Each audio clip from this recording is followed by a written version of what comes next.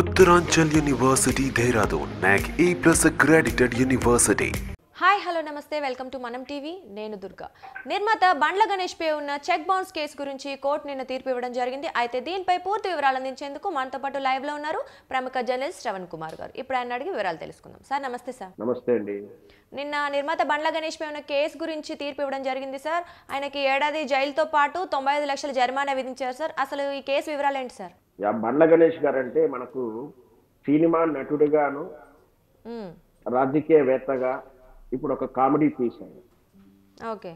అంటే జనరల్గా ఏం మాట్లాడినా కూడా సినిమా ఏం సినిమాల్లో నటనంతా కూడా కామెడీ వైపు ఎక్కువ నటించాడు.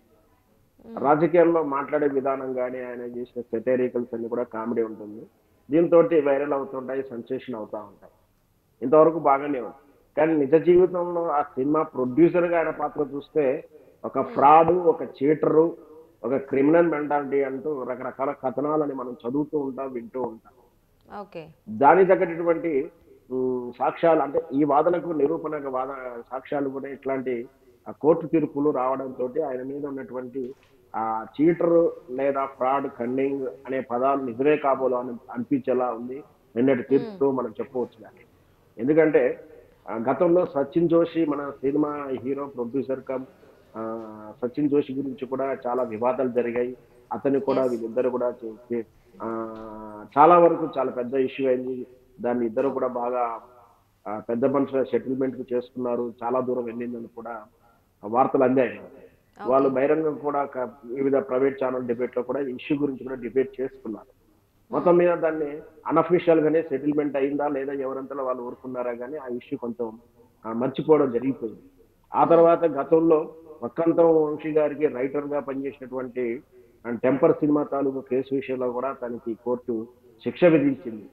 అక్కడ కూడా తన తనకు రావాల్సినటువంటి రెమ్యునరేషన్లో కానీ ఆ సినిమా తాలూకు వివరాల్లో కోర్టు దాకా వెళ్ళి అక్కడ కూడా కోర్టులో కూడా ఇతను దోషిగానే తప్పు తప్పుగా వ్యవహరించాడంటూనే కోర్టు తీర్పు ఇచ్చింది. దాని దగ్గరటువంటి ఆ కేసులో నుంచి కూడా తాను ఆ టెంపరీ బెయిల్ తీసుకొని ఆ తర్వాత పై కోర్టులో మళ్ళీ అప్పీల్కి వెళ్ళాను ఇప్పుడు నిన్నటి కేసు కూడా జట్టి వెంకటేశ్వరరావు గారని ఒక వ్యక్తికి తొంభై ఆరు లక్షల రూపాయలు వాస్తవానికి కోటి పాతిక పాతిక లక్షలు అంటున్నారు. ఏ- పూర్తి వివరాల ప్రకారం అయితే ఆ కోటి లక్షలు కోటికి పై పెళ్ళిగా బాకీ ఉంది.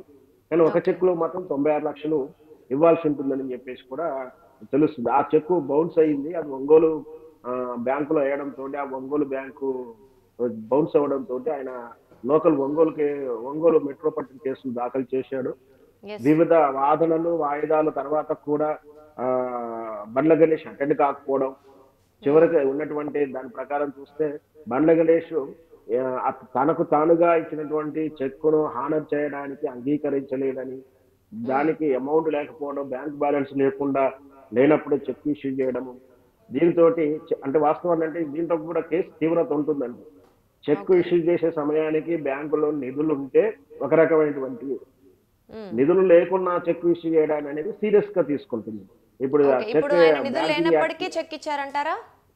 యా, అంచేత తీవ్రతగా పరిగణిస్తూనే అతనికి భారీ జరిమానా విధించింది జైలు శిక్ష విధించింది నష్టపరిహారం కూడా కట్టాలని కూడా తీర్పు ఇచ్చింది.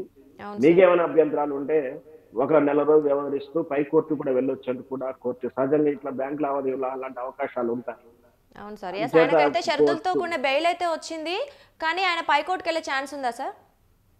యా ఉంది. ఉందా కాదు ఉంది వాస్తవంగా ఉంది. ఆ తీర్పులోనే వ్యవహరించడం జరిగింది. తీర్పులో మెన్షన్ చేయకుండా కూడా వెళ్ళే అవకాశాలు ఉంటాయి. దానికి మన న్యాయ వ్యవస్థ తీరు అలా ఉంది.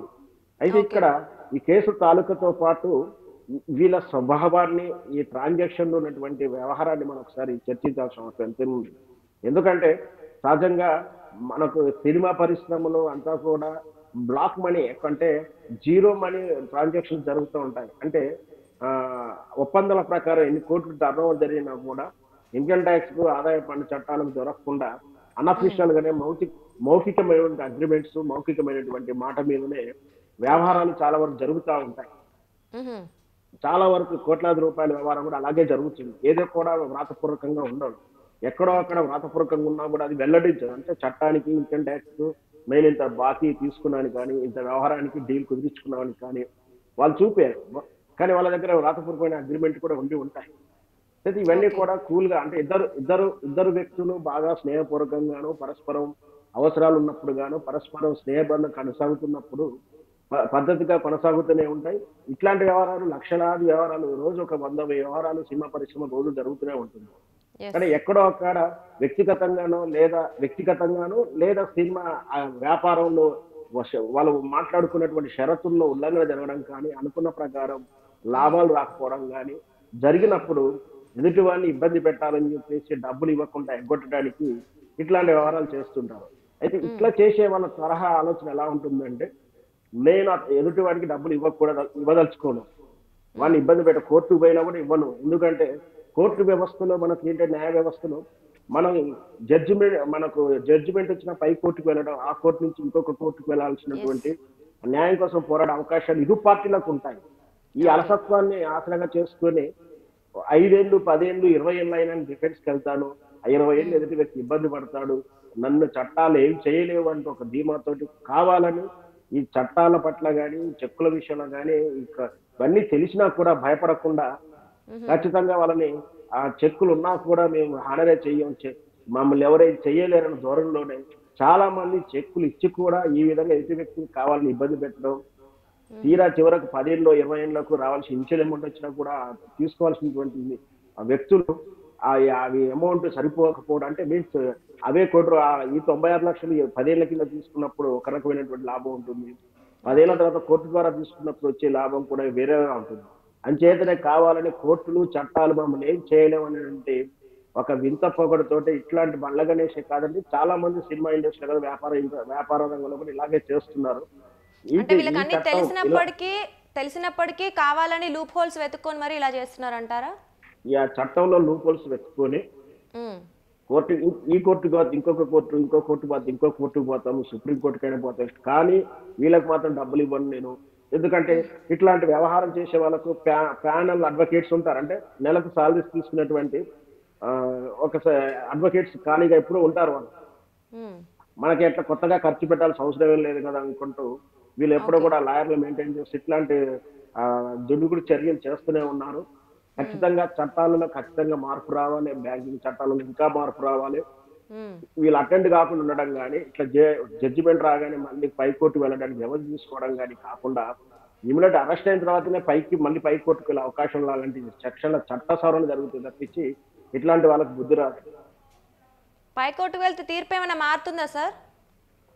అది మనకు కోర్టు? వ్యవహారాలు కోర్టు వ్యవహారాలు ఏంటంటే మనం వాదించుకొని మనం ప్రూఫ్ చేసుకోగలిగినటువంటి సాక్ష్యాధారాలు పెట్టగలిగినప్పుడే అది మనకు ఉన్నటువంటి ఫ్యాక్ట్స్ గౌరవమైన న్యాయస్థానం ఏమంటే మనం చెప్పగలిగిన విధానం ప్రకారం ఉంటుంది కానీ అది ఎలా ఉండబోతుందో మనం అంచనా వేయలేదు. ఎందుకంటే వీళ్ళు సరే సరైనటువంటి కేసు పెట్టిన వాళ్ళు సరైనటువంటి సాక్ష్యాధారాలు నిరూపించగలిగితే ఇంకా శిక్ష పెరగవచ్చు లేదా తగ్గవచ్చు అది ఎలా ఉంటుందని అక్కడ ప్లీడింగ్ వాదన బట్టి ఉంటుంది కానీ మనం ముందుగా ఏం చెప్పలేమండి. ఎస్ సార్ మొత్తానికి అయితే ఒక వన్ మంత్ అయితే టైం ఇచ్చింది హైకోర్టుకి వెళ్ళడానికి. సరే చూద్దాం సార్ ఏం చేయబోతున్నారు అనేది. Thank you sir